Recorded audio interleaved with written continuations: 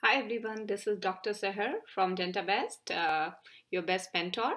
Um, today I'm with pharmacology review and we know pharmac is a very important subject but a difficult subject for most of the students. So we'll try to make it as easy as comprehensive uh, in this explanation. So this is the table of contents that we are going to study about antibiotic prophylaxis, antibiotic classes, adrenergic drug, anti-adrenergic, cholinergic, anticholinergic, nicotine receptor antagonist, drug administration route and metabolism, anesthetics, nitrous, anti-anxiety, antidepressant, antipsychotic, antihistaminic, anticonvulsant, antidiabetic or oral hypoglycemic, antifungal and protozoal, antiviral, NSAIDs, acetaminophen, opioid, cancer drugs, hypoglycemic, and agonist and antagonist. Okay, so firstly we start with the antibiotic prophylaxis guideline. If you can see, this is the latest 2021 AHA statement.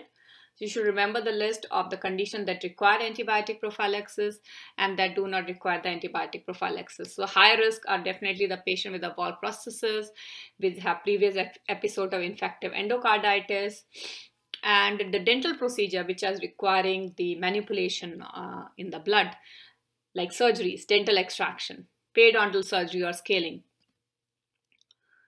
Your dental implants apicoectomies subgingival placement of antibiotic fibers or prophylactic cleaning of the teeth where bleeding is anticipated.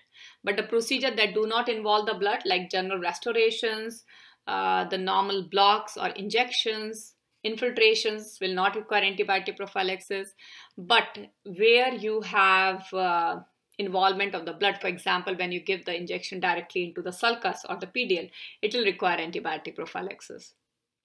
Placement of orthodontic bands appliances taking impression radiographs shedding of primary teeth okay they do not require antibiotic prophylaxis. And you can see the major change here is clindamycin is no longer the drug of choice for penicillin allergic patient because of the problem of pseudomembranous colitis from clinda, which induces the overgrowth of Clostridium difficile bacteria. So that's the reason we are using cephalosporin now as the drug of choice for penicillin allergic patient. And second drug of choice are the macrolides, azithromycin or clarithromycin, and third drug is doxycycline. But if your patient has immediate hypersensitivity or allergy to penicillin, you can never use cephalosporin either. But most of the cases of allergy to penicillin are delayed hypersensitivity like a rash. That's the reason cephalosporin can still be used. But immediate allergy or anaphylaxis reaction from penicillin, you cannot use cephalosporin because cephalosporin and penicillin, they share a common molecular structure. Now this is the table of all the antibiotic classes that you can see and their mechanism of action. We can see which one are inhibiting the protein synthesis, which are attacking the 30S, 50S ribosome of the bacteria, while the penicillin, they inhibit the cell wall synthesis of the bacteria, while sulfadiazine inhibit folic acid production, so DNA is not formed.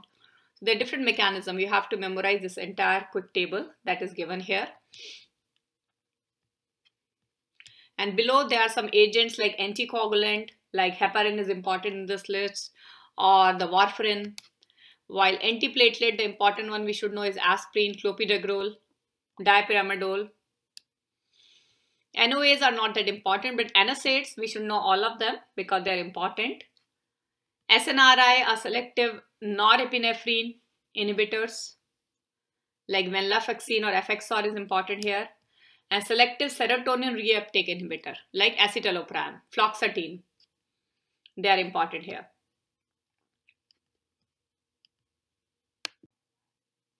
Now this is called as DEA drug scheduling. So as per the addictive potential or habituation of the drug, we have different schedule of the drug here. So schedule 1 has the highest abuse potential drugs like heroin, marijuana, lysergic acid, LSD.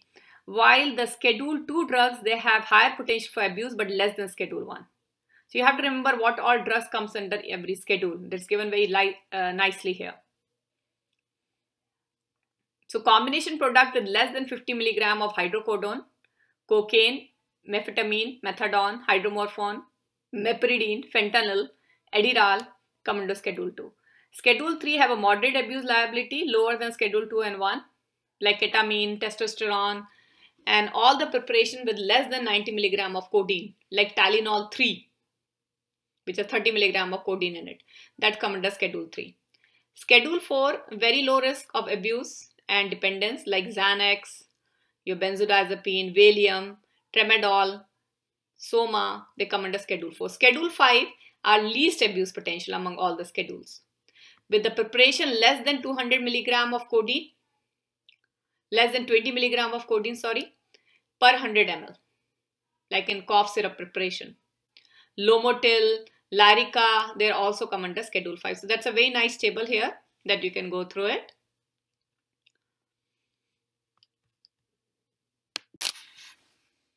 Now in the cholinergic drugs, we have cholinergic agonist and antagonist just like adrenergic, directly acting through the receptor and indirectly acting. Indirectly acting, we have the reversible one like physo, neostigmine, while the irreversible one are like organophosphate gases. Now antagonists that will block the cholinergic effect, atropine, scopolamine, glycopyrrolate, mecamylamine, trimethophan, they're important one. The drugs which come under neuromuscular blocking drugs. The one which are non-depolarizing, like tubocurare, and one which is depolarizing like succinylcholine. So anticholinergic drug effects, we can see on ophthalmic use, antispasmodic action, bronchodilation, they're all anticholinergic effect. Treatment of Parkinsonism. Now this is a classification of the antidepressant drugs which are starting with the MAO inhibitors, then the SSRI, which is the most popular group that will only block serotonin receptor. Then you have atypical antidepressant like bupropion is one of them. Now the tricyclic antidepressant is divided into the one which has norepinephrine and uh, serotonin reuptake inhibitor like amitriptyline, doxepin one which predominantly inhibit norepinephrine reuptake. So norepinephrine reuptake inhibited means norepinephrine, serotonin, they remain in your blood for longer period of time and they cause excitation and treats your depression. But the problem with the antidepressant is when they increase the epi level or norepi level in the blood, it can lead to hypertensive attack if you are giving them epi in the local anesthesia or any other form. So the drugs like SNRI or SSRI, which are only selective for serotonin. They only prevent the serotonin reuptake. So only serotonin levels are increased in the blood, not epi level. So these drugs are better tolerated by the patient who have hypertension or giving epi in the local anesthesia because it's not increasing the epi levels, only increasing the serotonin levels. So serotonin and non-adrenaline reuptake inhibitor, that is your SNRI. This is a good table of advantage and disadvantage of routes of administration like with oral route, inhalation, rectal, intravenous. So mainly you should remember the oral route is least effective route, although it's very safe. Patient can use them themselves. It doesn't immediately act, around 30 minutes for it to act. Oral route, you have a first pass effect through the liver. The liver is breaking down most of the drug when it's passing through it first. Very less portion will come back into the blood and go to the target site for distribution.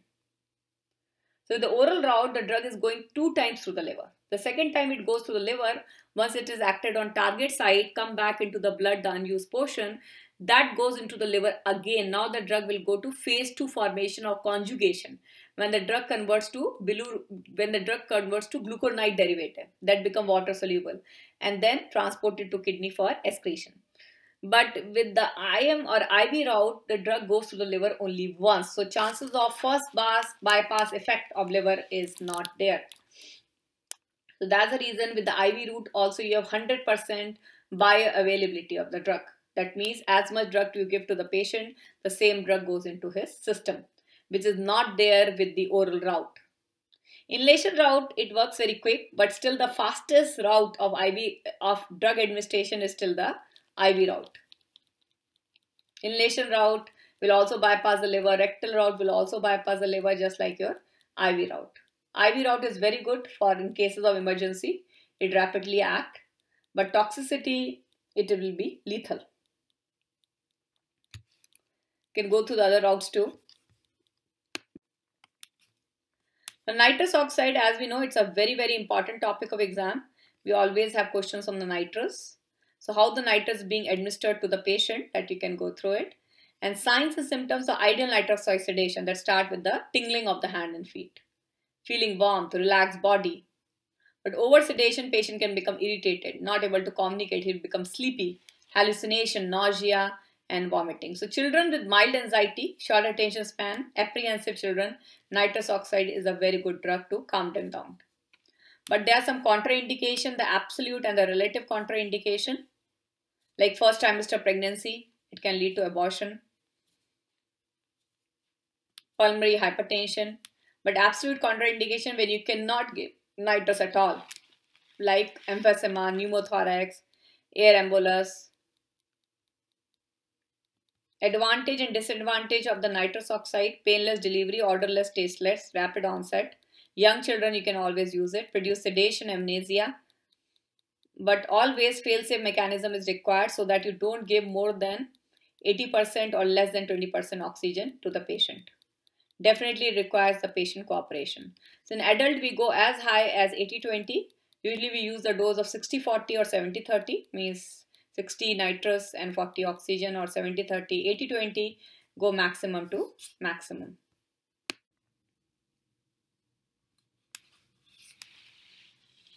now the hypoglycemic drugs you can see they're divided into uh, three groups the drugs which enhance the insulin secretion or the drugs which overcome the insulin resistance or which is the miscellaneous group so metformin and pioglitazone they will overcome the insulin resistance to the tissues. That what happens in type 2 diabetes, you become more resistant to insulin action.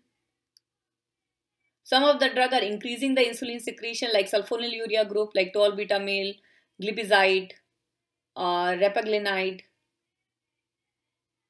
Some of the drug which are miscellaneous like acarbose, miglitol, these are different types of insulin profiles. So the uncontrolled diabetes type 2 that's not responding to hypoglycemic or insulin dependent type 1 diabetes that is seen more in the children. So insulin is the only drug for them. So you can see the one which are rapid acting, short acting, intermediate acting or long acting. So you can go through this table as well. Important drugs. Now we have the NSAIDs or non-steroidal anti-inflammatory drugs in which you have non-selective COX inhibitor that block both COX-1 and COX-2, reducing your inflammation, reducing your prostaglandin synthesis. Some of the drugs are selective COX inhibitor like celecoxib, rofecoxib. So you can see different categories here. The one which comes under salicylate group is the aspirin. Ibuprofen, naproxen, they come under propionic acid derivative. Then we have mefenamic acid, piroxicam, ketorolac, indomethacin, acetic acid derivative. The drugs which have poor anti-inflammatory effect like your Tylenol or paracetamol. That's a different class. Now what are the contraindication to aspirin therapy? That's also important. So patient who have active, active peptic ulcer, allergy to aspirin, bleeding disorder, recent GI bleeding, severe liver disease, kidney failure, thrombocytopenia, you cannot give the aspirin.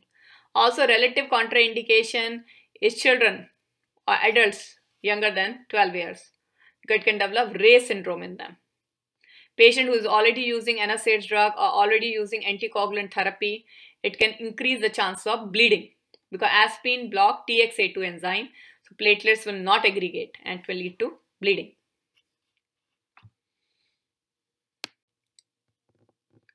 Now, Parkinson's disease, as we know, decreased dopamine in the blood. So, characteristic of Parkinson, musculoskeletal changes, neuropathic, central changes, arthritis, myalgia, restriction, numbness, tingling, restlessness, prolonged involuntary muscle contraction, rigid. Treatment, MAO-B inhibitor, selegiline, but levodopa and dopamine combination that is called as Sinemet. That's the drug most popular. Because giving levodopa and dopamine, uh, carbidopa together, carbidopa will decrease the breakdown of levodopa outside blood-brain barrier. So enough levodopa can enter inside the brain and create the action. There are some dopamine agonist drugs that are also used or COMT inhibitor or anticholinergic like benztropine. Hi my dear student who are preparing for IMD ADAT or uh, Part 2 exam. Uh, thanks so much for watching this review video of the subject. If you really liked it, please buy the full version by clicking on the link given in the description. With the purchase of every video, you'll be getting free live assessment and evaluations on the subject as well.